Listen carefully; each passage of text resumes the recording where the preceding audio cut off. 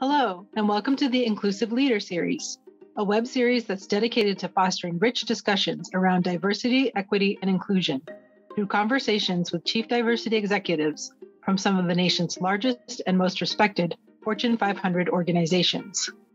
Leading the conversation is Virginia Tech's Vice President for Strategic Affairs and Diversity, Dr. Menah Pratt Clarke. In the few short years that Dr. Pratt Clarke has been at Virginia Tech, she has already established an incredible track record. From leading the campus through an 18 month process, developing a new university wide strategic plan, to conceptualizing and launching Inclusive VT, Dr. Pratt Clarke is firmly committed to creating a more just and inclusive world, starting right here at Virginia Tech. Joining her is our very special guest, Ayo Odusote, Diversity and Inclusion Lead for Deloitte Consulting, Ayo's role focuses on creating a consistent experience for all employees, ensuring that they are comfortable bringing their authentic selves to work. Ayo is also the Dean of Deloitte Consulting Immersion Program, promoting leadership development for underrepresented minorities. We're so thrilled to hear from these two practitioners and learn from their experiences as we all seek to become better advocates and allies for inclusion and belonging. Welcome and thank you for joining me today, Ayo. Uh, I appreciate you being here and our opportunity to have this conversation. Deloitte is such an important university partner, uh, collaborating on so many efforts from an alumni corporate chapter that supports more than 850 Hokie employees to a new mentorship program for first generation students who are matched with Deloitte practitioners. And so it's just a really wonderful partnership and collaboration. And I'm excited to sit down with you and discuss the importance of advancing the future work, the future of work, um, while making it more just, inclusive, and accessible. So I've got a couple of questions I want to start with, and I think later you'll ask me a few, and we're just going to have um, a conversation today around issues of diversity, equity, equity, and inclusion. Awesome, let's do it. All right, let's, let's, start with my, my first question is, um, why is an organization's investment in a diverse and inclusive culture and workforce important? So, really asking about what is the business case? Yeah, no, great question to start off. Um, I start by saying that for me, the business case for DEI is is very personal. I'm African, I'm American, I'm an immigrant, I have an accent. Um, I stand out on so many levels and really haven't always felt like I fit into this image of what a successful business leader looks like. But today I'm a leader in Deloitte Consulting where inclusion is the foundation to, of, of, of our culture and our values. And I can't help but reflect where where where I'd be if I if I didn't work in a more in, in, an inclusive environment, right? I can't help but reflect on how my own unique contributions would have missed would have been missed, right? If if I didn't work in an inclusive space. And when you think about that, you have to kind of think about multiplying that by 10 people or 100 and 1000. Think about all the contributions lost by by, by not having a more inclusive environment. And I think the data bears this out, that a diverse workforce can boost employee engagement, productivity, client service, and innovation. And um, I, I, think about two data points. One is a recent Deloitte survey that showed that a diverse thinking workforce actually boosts innovation by about 20% and it reduces risk by about 30%, which is huge. Mm. And then there's another study that shows that, look, if you have an inclusive environment or you have an inclusive culture, that you are eight times as likely to achieve better business outcomes. So the business case is very compelling uh, when you look at individual experiences as well as what the data shows.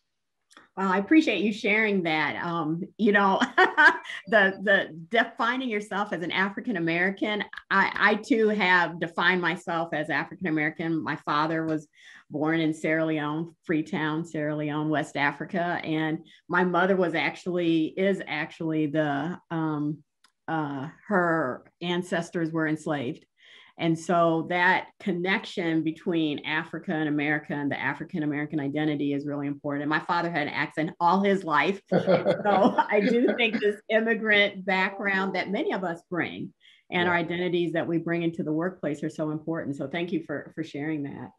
Um, so when I first started this work, we were actually calling the work affirmative action actually. And then we moved into multicultural, and then we moved into diversity, and then into inclusion. And now we, I think these three words of diversity, equity, and inclusion are included when we think about this type of work. And maybe you can share a little bit about how you see those words, diversity, equity, inclusion.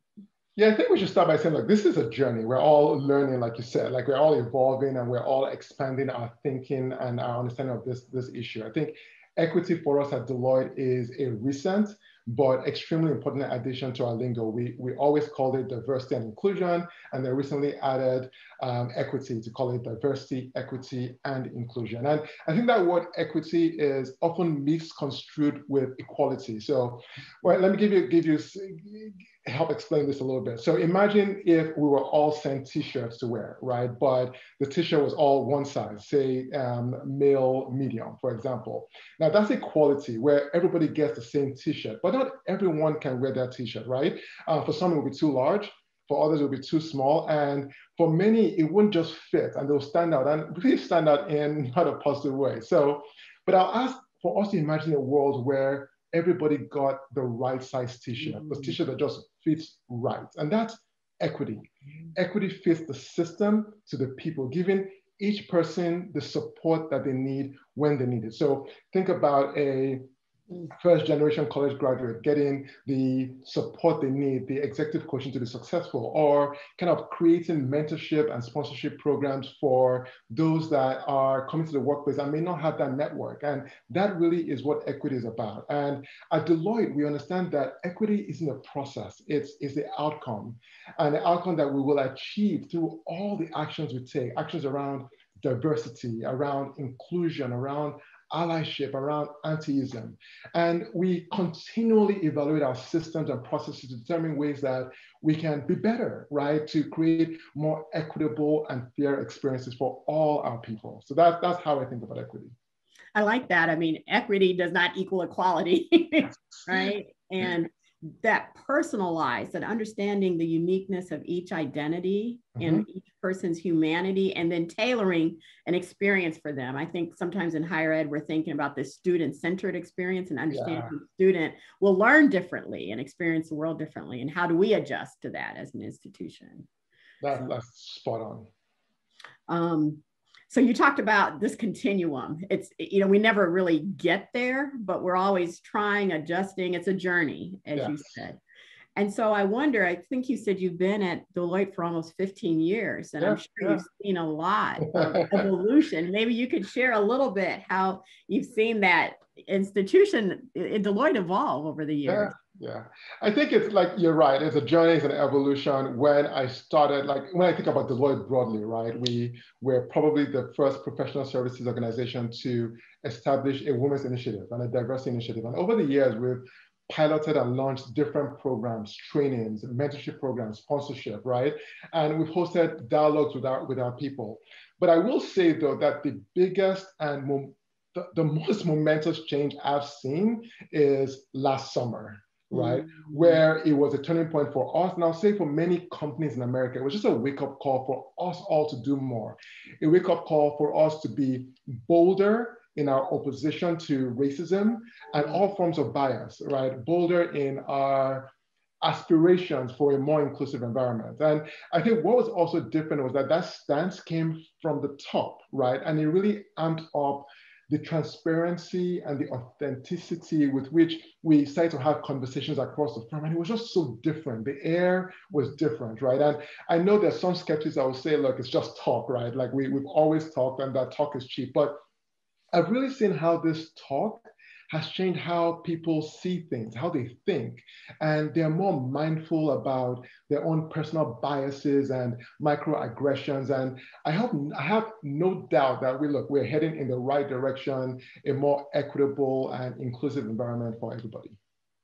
Yeah, we we I mean the summer and, and I I have mixed feelings about the summer being a, a shifting point because you know violence against African Americans has continued. It's just that it bubbled up in, in very visible ways. Um, but it, it, it, has to start with conversations. And, and at Tech, we started conversations as well. We have a series called hashtag VT Unfinished. Mm. And it's mm. about unfinished conversations largely around race. sometimes conversations that never started, conversations that were never finished. And I do think the conversations do lead to actions. And so, um, but I'm curious though, because the conversations are almost ethereal, it's hard to measure.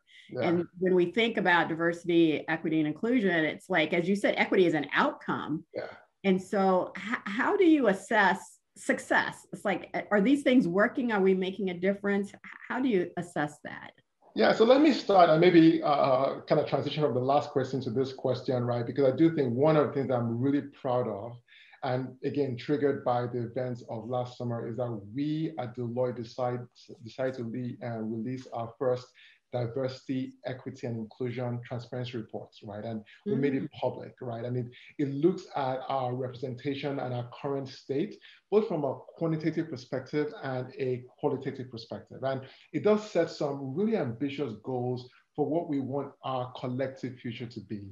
And um, I, I, think it, it does provide like a starting point for kind of us to help for, to help us identify what's working well. And but it also shows us that there's there's a lot more work to be done.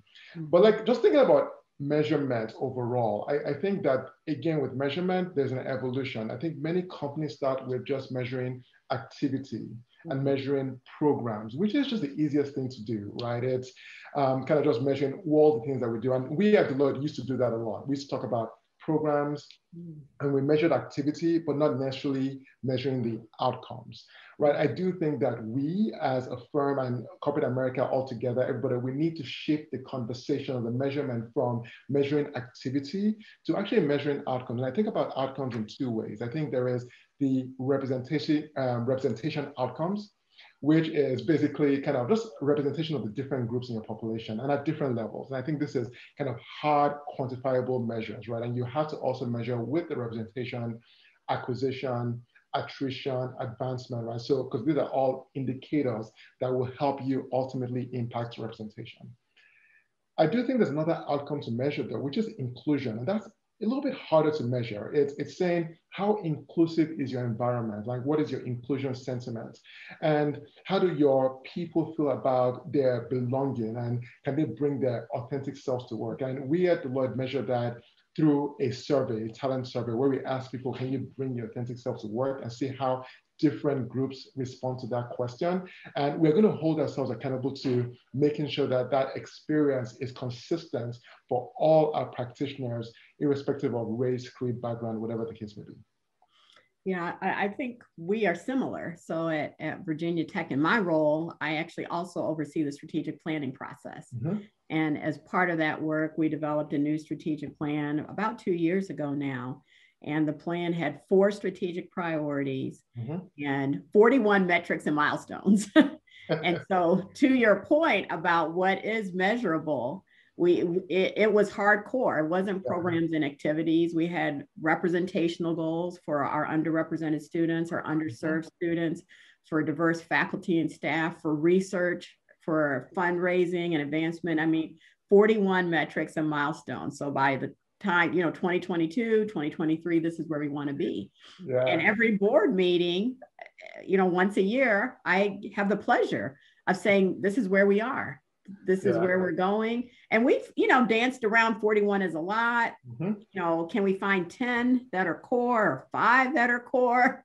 You know 41 is a lot. it's, it's a lot it's a lot.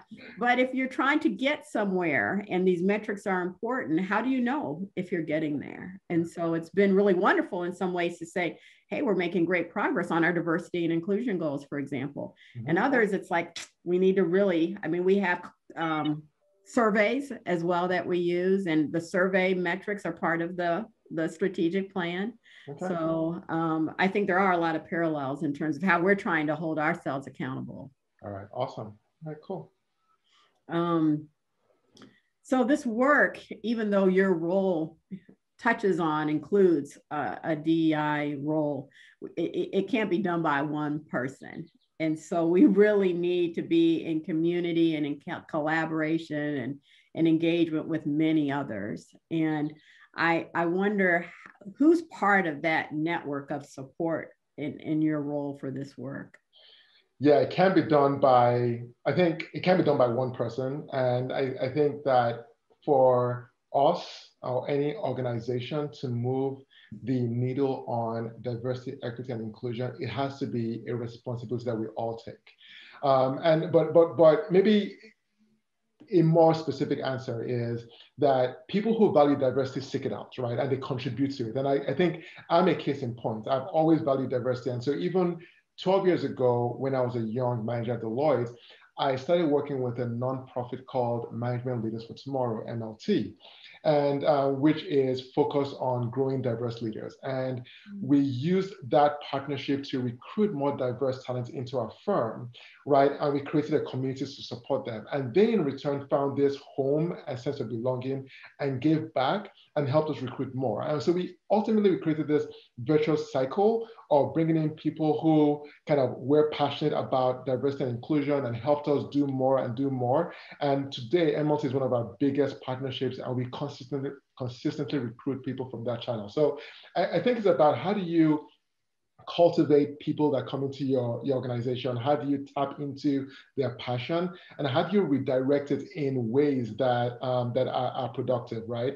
But I, I think that's one thing we've done. But I think ultimately my philosophy about diversity, equity, and inclusion is that it has to be everybody's responsibility. It can't just be left to me as a DI leader.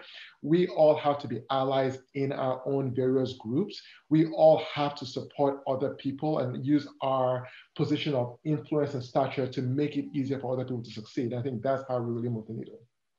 Yeah, it, it is very much that building and connecting and the conversations and, and engaging and, and everybody owning it yeah, everybody owns it. Is everybody has to own it. Um, I like the story that you shared because it's almost like this example of a little bit of a small effort that turned into a lot of success yeah. and continued to to feed itself in a way. so it's sometimes these small gains, and sometimes we don't know where the uh-huh. success will come, but it, it sort of builds upon itself. And I'm wondering if you can share other just a few other success stories of how small efforts ended up continuing to make a difference around DEI. Yeah, so I think we have a number of small efforts that are that are going on, right? So one other effort, I think effort we, we we've made is around sponsorship and mentorship, right? And recognizing that we need to provide um, kind of different groups, and to my point about equity, right? How do we provide different groups with what they need to be successful? And we found that in some pockets of our firm, and we are a large um, firm, um, they've kind of created sponsorship and mentorship programs that have really gained traction and have helped move the needle around increasing belonging in our firm, right? So to your point, I, I, I often tell people that you know what, the, this diversity, equity, and inclusion journey that we're on, it doesn't have to be big dramatic programs all the time. Sometimes you can make an impact in your own small space, one person at a time, one action at a time, one small program at a time. And we've seen that make a difference in our firm. Yeah, I, I appreciate that because sometimes people say, oh my gosh, it's, the world is, you know, chaotic and what can we do? We can't do anything. But I think knowing that these small steps can really be very transformational if, and sustainable, actually. Yeah, yeah. Yeah, uh-huh. and I even go go to I tell people like it's like it's the everyday actions, right? Like it's it, like if if you ask me what can you do, I'm like, what are you doing on a on a daily basis to support people that are not like you? So take the the the, the racial the violence that are against East uh, against Asians right now, right? Mm-hmm. On your team, have you reached out to people that are of Asian descent to ask them how they're doing, to ask them how they're feeling, right? That is an everyday action that helps people think that feel like that they belong, right? And and so that's it. It's all about the everyday actions. It doesn't have to be this big gesture of a program to really make a difference in your neighborhood, in your environment.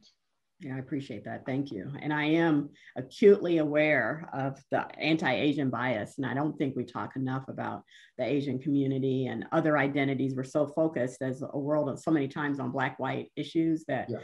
you know, the Lat- Latinx community, the Native community, Indigenous populations, the Asian population, the LGBTQ community, the Muslim community. There are a lot of communities exactly and identities that, you know, are, are equally vulnerable in, in society. Agree.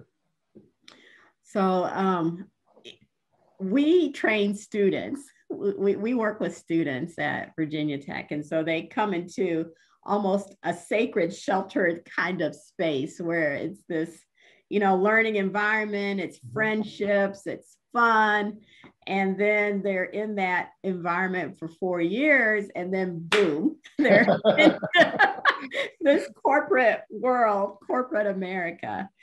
And I wonder if you can, and especially, I'm actually curious about this for even a little bit of a time frame because you've been there for generations. You've seen generations of students. Yeah. Um, and and and what what do you uh, what do you think students need today to know in order to really be successful in, in the corporate world?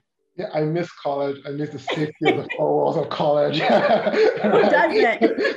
I think there's just something nice and safe about college. I wish I could go back to my college days, but um, that's not going to happen. so there, but there is, to your point, there is a transition between kind of college life and corporate life. I think college life is, to your point, is predictable. There's a roadmap, there's a schedule, there's a game plan. The rules are generally clear on what it takes to be successful. Mm-hmm. And a lot of people succeed in that environment of clarity, right? But I do think that corporate life is often ambiguous, right?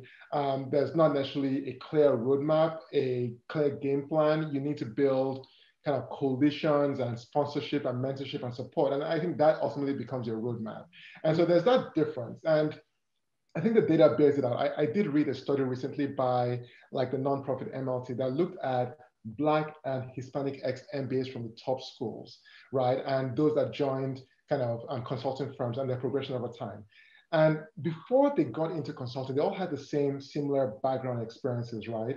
Um, similar GMAT scores, um, similar GPAs, and um, similar years of experience. But when they got into corporate America, their progression differed, right? Suggesting that what, it's not rocket science, but suggests that, look, what got you helped you be successful in college, right? Not necessarily is the recipe for success in corporate America. And um, I think the point being that in corporate America, you need that sponsorship, you need that mentorship. And I, I think that to, to resolve this, I think there is what the employer needs to do, which I've been talking about, right? It's about creating more equity in systems for every for everybody, right?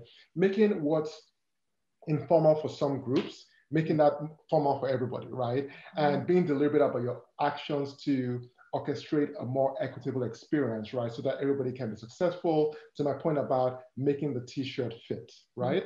And but I think for students as well, my guidance is just recognize the game is different, right? Recognize that it's different, right? And there are different expectations in this, and understand what those expectations are. And it's not going to always be easy because the rules are not always written. Like you don't have the rules. You don't have like, here's what you need to get an A, right? So you need to kind of seek out mentors and sponsors to be successful. And no one can do it alone, right?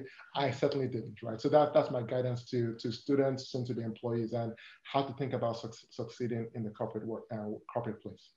No, I appreciate that. I remember when I came out of law school and I started practicing law, I mean, I've been a law student. And I was like, whoa, this, this is completely different. Exactly, right? it's billable hours and everything. it was a whole nother world that I don't think off. I mean, internships help us to prepare, help students to prepare for that yeah. transition. And I just think those internships are, are, so important. Can you just talk a little bit about the um, how we can how colleges and, uh, and universities can help students prepare for diversity issues in the workplace?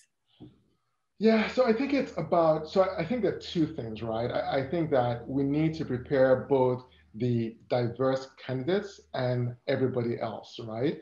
I think it's, it's two pronged. I think for um, diverse candidates, whether it's Black, Hispanic, I think it's just training and education about the, the reality of what they're going into and how they have to maybe in some cases go a step further to um, to, to, to, to, to succeed. So what I mean by that is for me personally, one of the challenges I faced coming to the workplace was that I was shy. I wasn't always one to put myself out there and talk about and build a network. And I wasn't the one to kind of toot my own horn.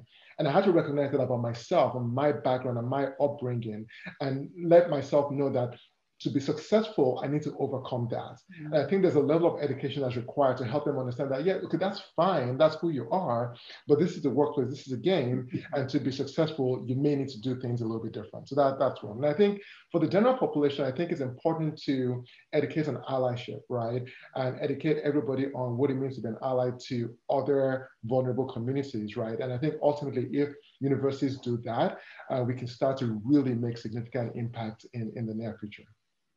Yeah, I, I think that it's, I mean, this corporate world, there, there's unwritten games, unwritten rules, unwritten yeah. rules of the game. Yeah. And being able to learn the rules informally through conversations. I love your emphasis on sponsorship and mentorship. I do think that those are really very important and and you and and having to shift ourselves a little bit being willing to step outside of our comfort zone exactly. so that we can succeed in in maybe spaces that weren't originally designed for us to succeed but are wanting us now to succeed. Exactly.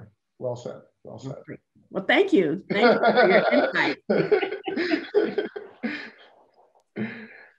All right Menah um, great conversation so far. Thanks for all those questions and and, and all. Um, it's now my time to ask you a few questions.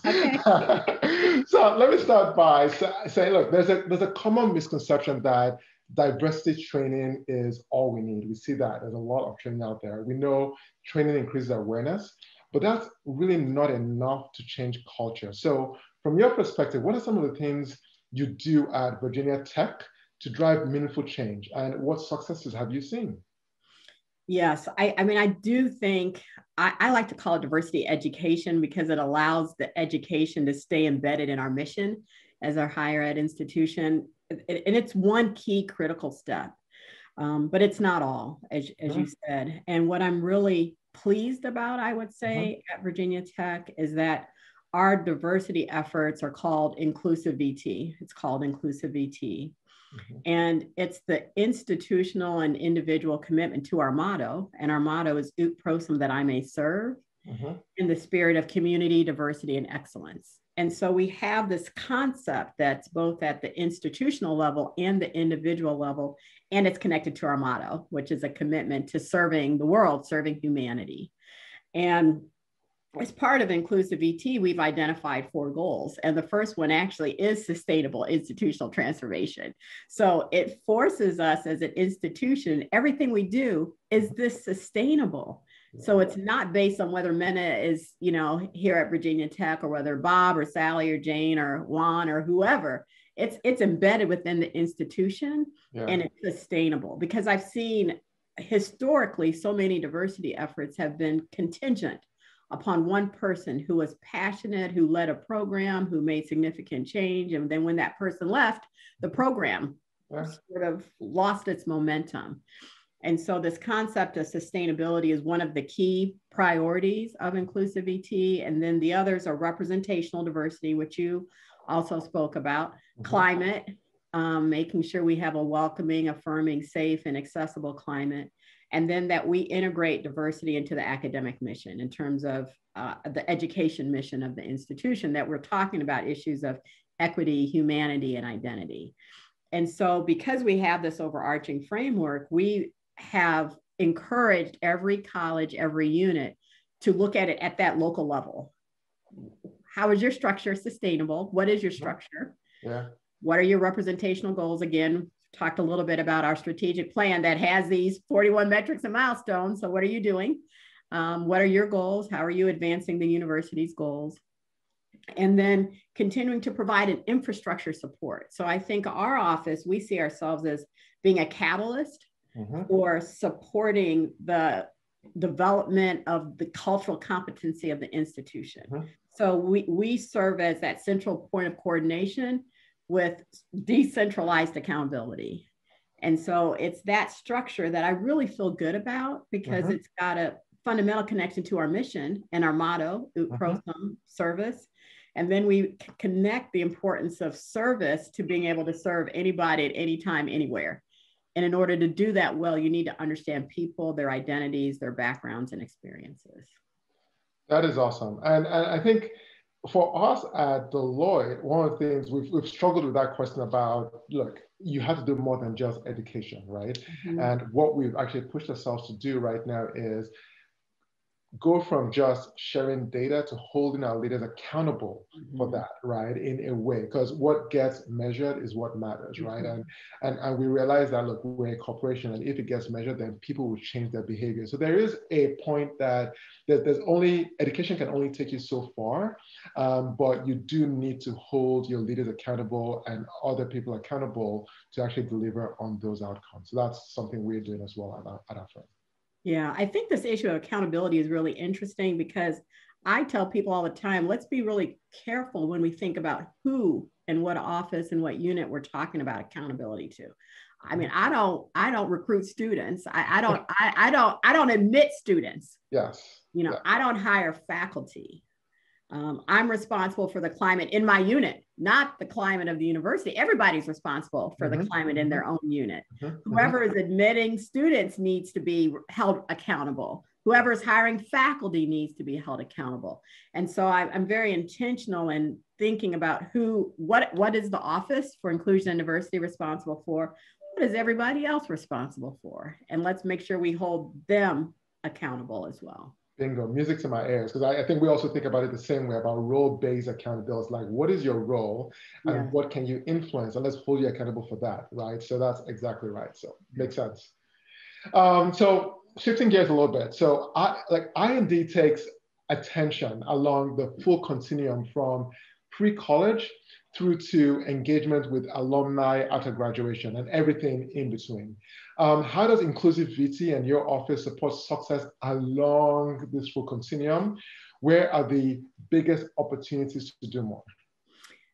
You know, it, it is a continuum and it, and it starts, at, you know, even you spoke about a pre-K through 12 yeah. and it, there's talent there. And, and, you know, to your first comment about where do we lose talent? We, we're losing talent all along the way. And so how do we as an institution, and we're a land grant, which in my mind, it's it's serving the citizens of the state. Yeah. So this this big responsibility to actualize potential. And so we have to have programs K-12. And you can't get people to think about Virginia Tech if you're not talking to them at, at some point in that K-12 continuum.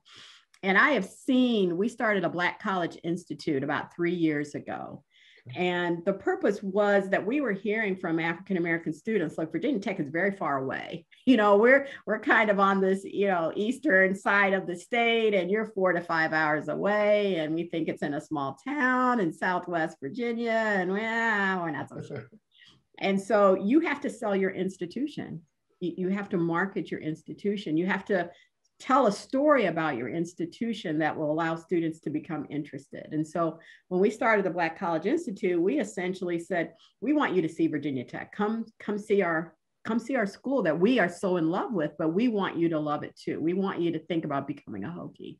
And so we started with rising juniors and rising seniors and said, come spend a week with us. And we will show you in every college what we have to offer. And that program has been tremendous. I mean, there's about 400. We did it last year virtually. It will be virtual again this year. It's not quite the same, but it introduces almost 450 students, largely African American, but it's not limited to African American students. It focuses on the African American experience, but it exposes students, 450 or so students, to Virginia Tech. And from that, we recruit them. So it has become a really wonderful pipeline. And applications this year from African American students, I think, are up 75%. African applications from Hispanic students are up about 60%. We've doubled applications from Native students because we have efforts that are also with tribal communities mm-hmm. because we have 11 tribal communities, tribal nations in, in Virginia. And so being sensitive to where is the talent it's it's it's it's a competition for talent with students with faculty so we have faculty diversity efforts um, and then it's this relationship with our alumni and mm-hmm. so these partnerships with Deloitte and having a Deloitte chapter and 850 Hokie alums, I think is just a very powerful example mm-hmm. of the importance of relationships with people. I think it always goes back to people and their relationships with one another and how you develop. I mean, so many people talk about I came to so and so place or institution because I knew a person. Yeah. And it was a connection with the recruiter or a friend of a friend or, or someone. And so these personal relationships across the continuum from and relationships with the parents as well. So the Black College Institute, for example, engages the parents because parents are instrumental in the decisions of their students. So I, I think it is. It's it's a sensitivity to where are the people, where is the talent, and what do you need to do to be in touch, just to have a conversation with the talent. Yeah, yeah.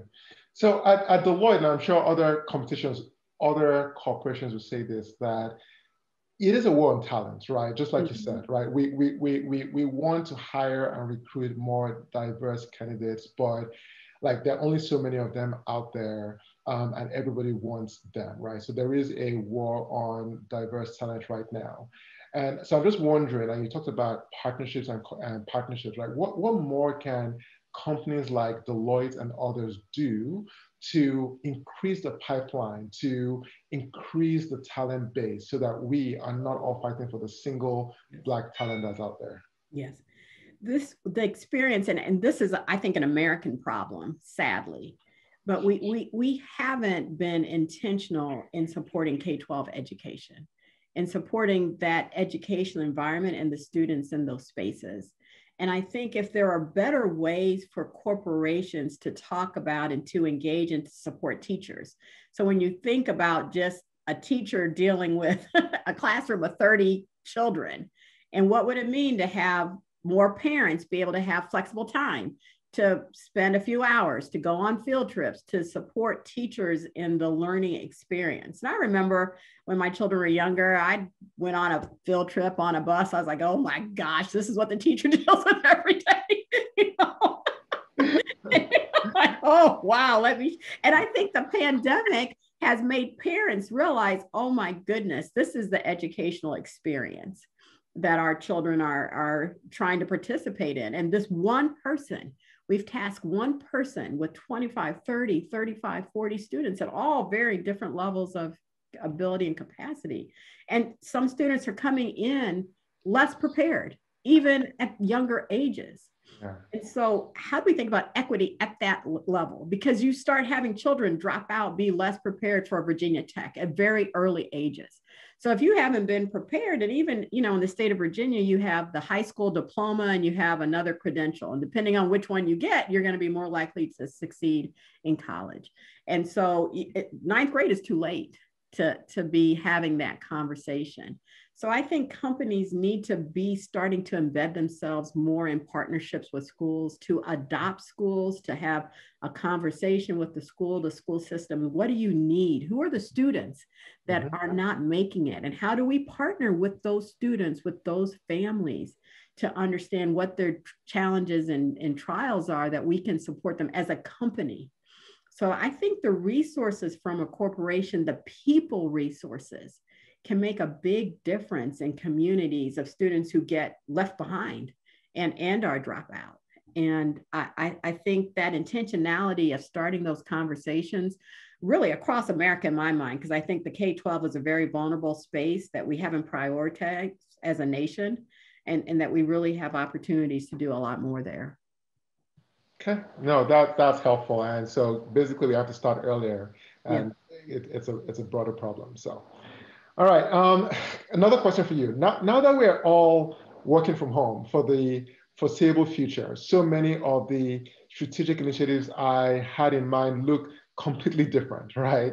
Um, so we a lot of things that we're doing, we have to now do virtually. Our training is all virtual. We can't do anything in person. We can't create the experiences that we want. Um, the needs of staff, and I presume students are changing and perhaps worsening, right? So, quest how has the pandemic shifted your priorities, your strategic priorities at Virginia Tech, and what needs and opportunities have emerged for you? It's a really interesting question because it's complex. Because on one hand, March last year came and everybody got sent home. It's like go home. And all of a sudden, you know, conversations that would have taken years, it's like you're doing online learning in two weeks. You know, shift your curriculum, learn Zoom, and get it to work. And so all of a sudden, there was a new way of learning in the world. that some institutions, there are other institutions who have been doing online learning for a long time, but are sort of stayed in the you know historical institutions of a land grant large school. It's like you come in person for this in person interaction and the relationships.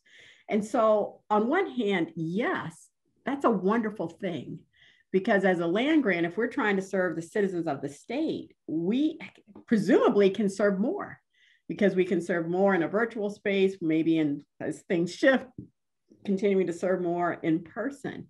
But it, it's making us think about it. It's like, okay, how do we deliver our educational experience? We can deliver it in different platforms in different ways. What do we still value? Do we still value the freshmen coming on campus, living in the residence hall, joining fraternity, sorority, student organizations, and having that life? How do we support that? But are there students that we could serve who can't do that, who don't want to do that? So, what does that mean for space and buildings? We're all in our homes and we were all worried about space. And now there's a bunch of physical buildings not being really used. So, how to we reimagine and repurpose office spaces if, in fact, employees can successfully work from home? But what do you lose in employees working from home? What do you lose in that hallway chatter that doesn't happen, or the hey, what's up, or how's your family? You know, it's like teams and chatting on the side doesn't quite get the how you mm-hmm. doing that eye to eye, that face to face contact and not wanting to minimize that to say hey we can do everything on zoom let's let's just keep going mm-hmm. so i think it's just raising a lot of questions. I don't think we have answers. The, the other thing that i think we're all going to be challenged with that we're not prepared for i think as a society is the mental health implications of the isolation. You know you have employees who have children that they've been raising and schooling and you know this this isolation losses people who have lost family members to the pandemic. And there's a lot of just mental health challenges for students for employees and i'm not sure we really have the resources to begin to provide the support that's needed. And so I'm not sure what type of students, high school students who yeah. now have spent, you know, the last year they're learning in this different way and then they come to college. I mean, we've taken away the socialization mm-hmm. in many ways. And so I, I think we're going to be learning. I, I don't think we have a good answer to what's next. Yeah, what's next is like who knows, right? But I, I, your call out about the mental health issue that already exists and will potentially continue to exist for a while to come is so important. I think as a firm, we are becoming more aware of it and trying to provide our teams with the resources and also trying to have real honest conversations about it, right? Because I do think that there's often a stigma around mental health. And so people don't really share what it is. And obviously, it's not binary, there is a whole spectrum of mental well being. And I do, I remember I, I was on one of those in one of those conversations where we talked about it and I reflected on the spectrum that was shared. I was like, you know what, I, I, I can see how it is. Like I'm not all the way to the right, but the isolation, the stress, the constant Zoom calls, I am definitely not on the left. I'm not, I'm not wholly okay, right? So and I think we, we've now found the lingo to be able to talk about it more openly. And I do think that more companies should do that uh, because again, to your point, conversations create awareness and then that awareness then helps us come up with solutions. Yeah. Okay.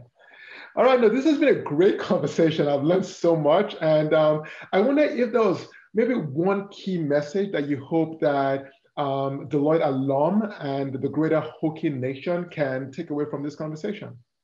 Well, I guess I would say that I just have a deep love for Virginia Tech, uh, a deep pride for the institution, and the mission of Ut Prosim has always resonated with me. It's why I came, that I may serve.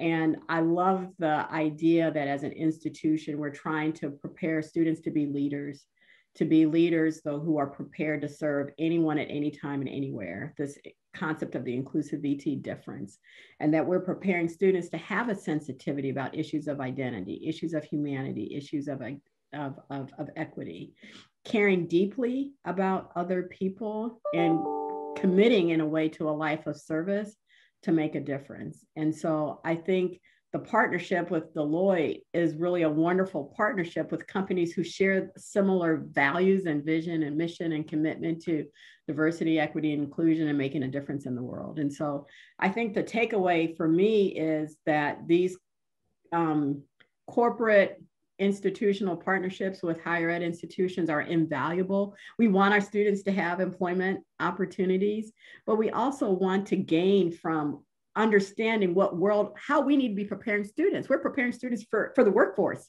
and we need to have an understanding of what the workforce needs so that our students are prepared. And i think for me this conversation has really been wonderful and affirming like okay we're kind of on the right track. Maybe we can do better in some ways but i, I think we're on the right track. So thank you. Oh no thank you. Thank you for having me. This was a pleasure. Just again um, insightful for me in my role as kind of diversity, equity, and inclusion leader to kind of think about where the talent is coming from, what we need to do differently or in partnership with yourselves in, in, in Virginia Tech. So this has been very, very insightful, and I thank you for your time. I thank you too. And I look forward just to, to our continued partnership and relationship. Thank All you. Right. Awesome. Take care. Thank you for joining us today. We hope this conversation and series will be a reinforcement for students, alumni, and all Hokies to positively represent themselves in their professions and communities. To learn more about Inclusive VT and other programs supporting diversity, equity, and inclusion at Virginia Tech, check out our website at www.inclusive.vt.edu. We hope you'll join us next time.